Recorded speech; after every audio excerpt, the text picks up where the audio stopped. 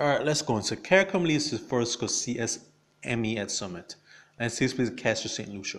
Caribbean community CARICOM leaders will meet in St. Lucia early next week with the implementation of measures to enhance the CARICOM single market economy, CSME, high on the agenda. The CSME, which allows for free movement of goods, skills, labor, and services across the region, was the main topic of a special CARICOM summit held in Trinidad and Tobago in December last year.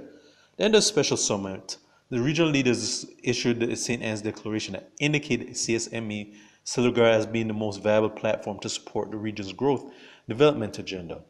At, among the recommendations contained in the declaration is more for a form is for a more formalized structured mechanism for engagement with the region's private sector and labor.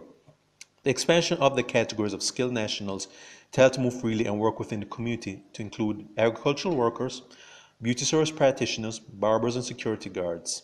The July 3 to 5, 3 to 5 summit, which is next week, will be chaired by St. Lucia's Prime Minister Allen Chastanet. All right, so all good to hear that. Um, hope the summit goes well and that there's a lot of and it does a lot of good for a lot of the people. A lot of people were participating in it, so that's pretty much what I say. A lot of people benefit from these kinds of events. I have nothing but praise for it. So let's just see that just goes beyond just dialogue and action will be implemented. All right, so this is for State of Jamaica and Caribbean.